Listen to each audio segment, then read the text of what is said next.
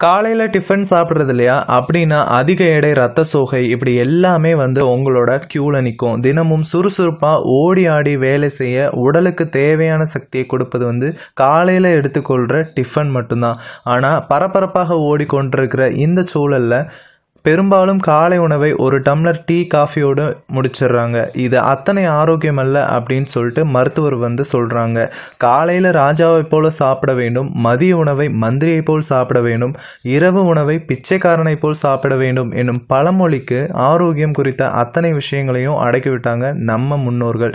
இரவு உணவை முடித்து நீண்ட இடைவெளிக்கு பிறகு காலை உணவை எடுத்துக்கொள்வதால் அதை தவிர்க்காமல் சத்தான உணவை அன்றாடம் எடுத்துக்கொள்ளணும். அப்போதுதான் வந்து அன்றைய நாளை உடல் சோர்வின்றி ஆற்றலுடன் செயல்பட முடியும்.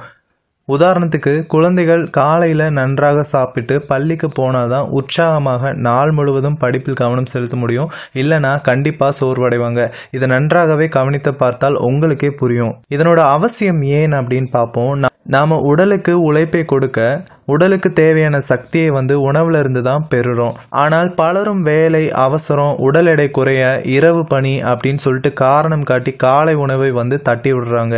இன்னும் சிலர் ஒரு டம்ளர் டீ அப்படி இல்லைனா காஃபியோடு முடிச்சிடுறாங்க.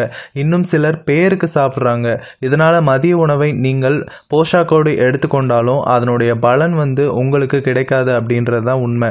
இன்றைக்கி ஒரு வேலைக்கு போகிறீங்க அப்படின்னா அன்றைய தினம் வந்து உங்களுக்கு முழுவதும் உழைக்க வேண்டிய எனர்ஜியை தருவது வந்து அந்த காலை உணவு மட்டும்தான். நிறைந்த சத்தான உணவை எடுத்துக்கொள்பவர்கள் சுறுசுறுப்பாக புத்துணர்ச்சியோடு செயல்படவும் மூளை ஆற்றலோடு செயல்படவும் வேண்டிய பாசிட்டிவ் எனர்ஜியை தருவதோடு அதிக ஆற்றலை சேமிக்கவும் வந்து இது உதவுது. உடலில் உள்ள மெட்டபாலிசத்தை தூண்டுது. இதனால் மன அழுத்தமின்றி ஆரோக்கியமாக வளம் வருவீங்க. சத்தான காலை உணவை எடுத்துக்கொள்ளும் போது இதை வந்து நீங்களே வந்து உணரலாம்.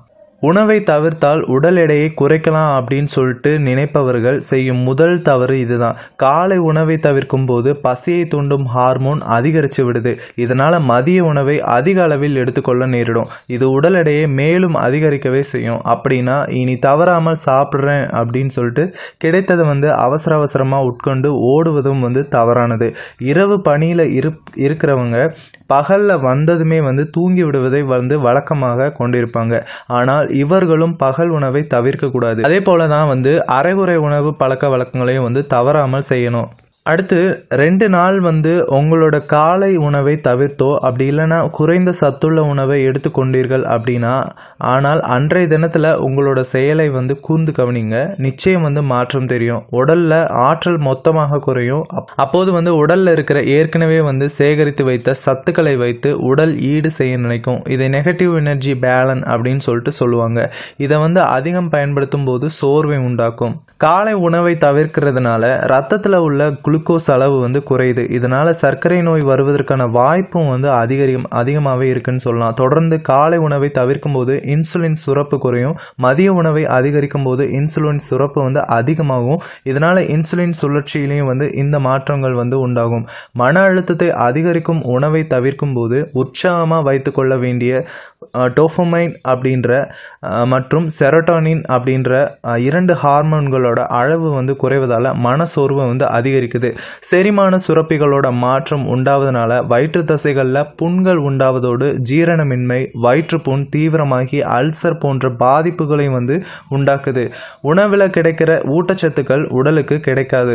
குறிப்பாக இந்த விட்டமின் பி டுவெல் குறைபாடு அதிகரிக்கும் போது இரத்த சோகை பிரச்சனையில் கொண்டு வந்து விடுவதும் இருக்குது எப்போதும் வந்து காலை உணவு நாள் முழுக்க நம்மை ஆற்றலாக இயங்க வைக்குதுன்னு சொல்லலாம்.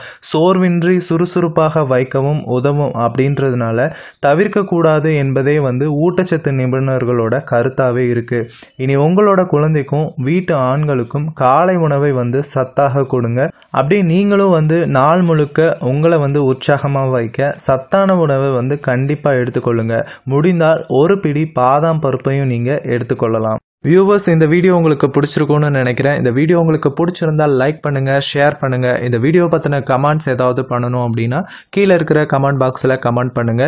மறக்காம கீழே இருக்கிற அந்த ரெட் கலர் பட்டனை சப்ஸ்கிரைப் பண்ணிக்கோங்க. கூடவே இருக்கிற பெல் ஐக்கானையும் ப்ரெஸ் பண்ணிட்டீங்கன்னா நம்மளோட சேனலில் போடுற ஒவ்வொரு வீடியோஸும் உங்களுக்கு அப்டேட்டாக கிடைக்கும்.